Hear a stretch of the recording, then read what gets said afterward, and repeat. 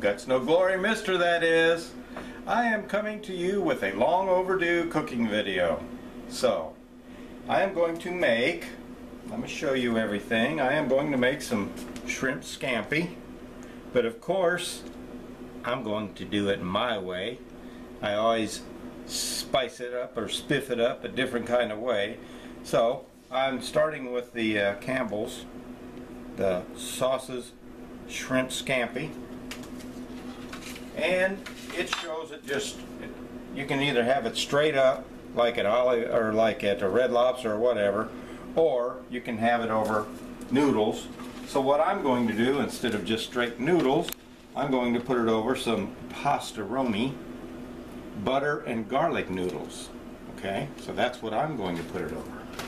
And of course I'm going to spice it up a little more I, we like just a little more spice to it. So I'm going to add a little bit of adobo. And I've got four cloves of garlic, four little cloves out of a head of garlic that I'm going to mince up in my garlic mincer. And when you do that, you just, you know, you twist it, and so these are pretty good. I'll do that when I start cooking. And start off with a one pound of the nice big shrimp. Okay, the large shrimp. One pound of those. This is what it looks like in my skillet. And it says to add a tablespoon of oil, which I added a little more than that with of olive oil. And it doesn't call for any butter, but guess what I did? Yep, I put some butter in there. So, like I said, I do a little bit different. You don't have to do it that way. You can do it straight like what the box says, and you can do just straight noodles instead of, you know, a garlic butter noodle, whatever you want to do. You can do it that way. And it doesn't call for the garlic either, but I like garlic. So, I'm going to put the garlic in and I'm going to start cooking. It also tells you on the bag to cook the shrimp first, get them a little bit pink, and then put them in and uh, get it started to cook and get it, bring it to a boil, and then bring it down to a simmer. I'm going to bring it to a boil and then put my shrimp in. I do it a little bit different. You can do it there again, as the instructions say, or however you like. But that's how I'm doing it. So we'll be back with the finished product. See you later. Okay guys, we are back. This is here. This is the sauce. The uh, Campbell sauce skillet. And this is the shrimp scampi.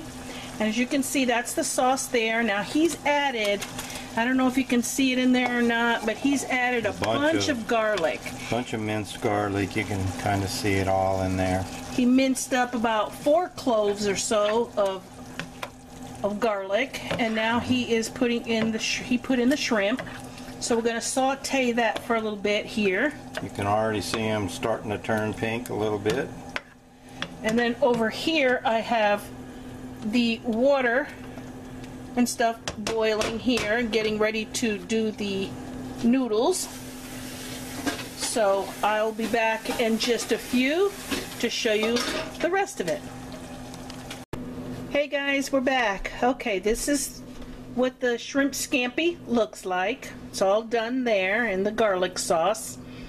Now, like we said, we used the package of the Campbell's sauce, scampi sauce, and then we added some garlic and we added some adobo, which is just an all seasoning.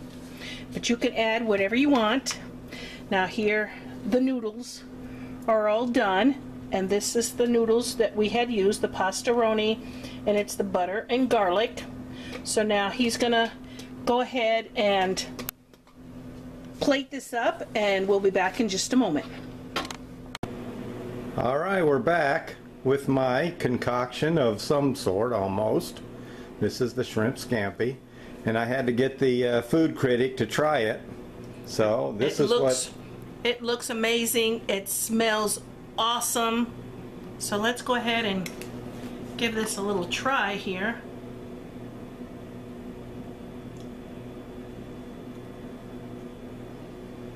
That's good.